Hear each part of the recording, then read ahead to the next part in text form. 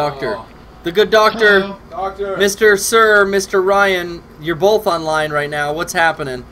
Yo, what's going on? Hey, uh, before I have a question, but I want to just quickly say congratulations to Kevin for finally tweeting.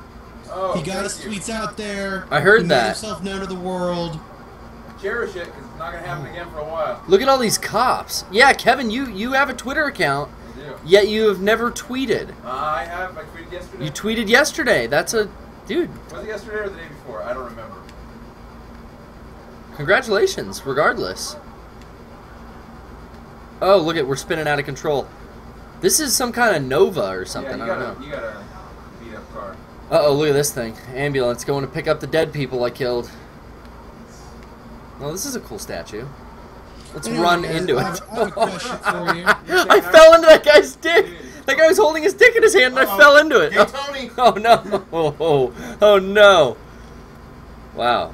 Uh, yeah, you have. Yes, go ahead with your question. Yes, a So, question. you were just talking about, you know, playing Final Fantasy 13 for 20 or 30 hours before it gets good. Yeah. Uh, so was a two-part question. Number one, what is the what game do you think you've put the most hours into? Uh, like total, Rock- and what game do you think you've put the most hours into, but like it wasn't worth it? Hmm.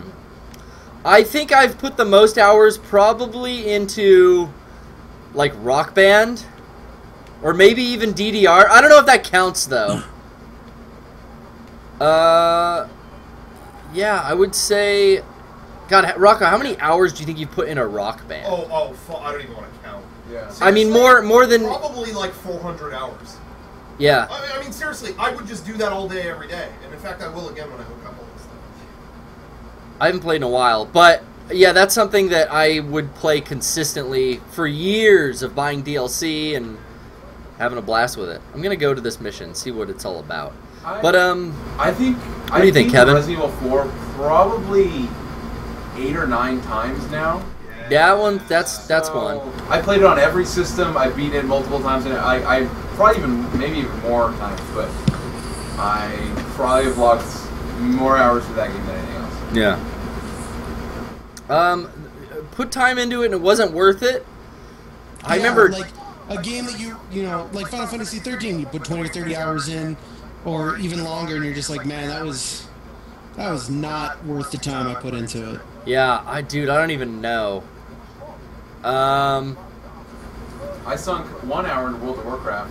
That was really, I've never that bug's never bitten me. no.